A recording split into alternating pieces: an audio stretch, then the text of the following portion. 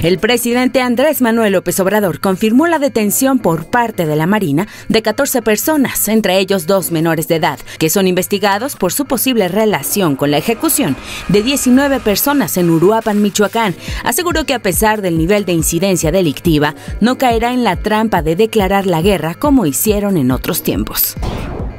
Un juez concedió suspensión provisional a Rosario Robles, ex titular de las Secretarías de Desarrollo Social y del Desarrollo Agrario, Territorial y Urbano, contra cualquier orden de aprehensión por delitos que no ameriten prisión preventiva. La exfuncionaria deberá pagar por el amparo 100 mil pesos de garantía. Luego de tres años de búsqueda incansable por dar con los restos de sus familiares y amigos en fosas clandestinas en el violento estado de Veracruz, este jueves activistas y miembros del grupo Solecito concluyeron con las indagaciones y realizaron el hallazgo de 298 cráneos y 22.500 fragmentos óseos.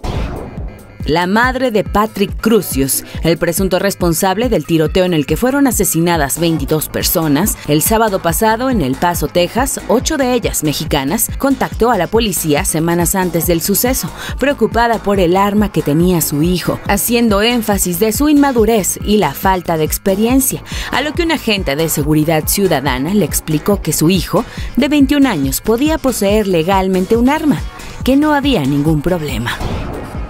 El gobernador del estado, Miguel Barbosa Huerta, firmó un decreto para iniciar los procesos legales de preliberación o indulto de las mujeres que se encuentren en prisión y se les fincaron cargos por aborto. Durante su participación en el conversatorio, Avances y retos en la consolidación del derecho a la igualdad y a una vida libre de violencia para las mujeres en Puebla, el gobernador sostuvo que no confrontará a los poblanos con temas como el aborto, pero propiciará las condiciones para que exista igualdad de género en el Estado, según detalló en un comunicado.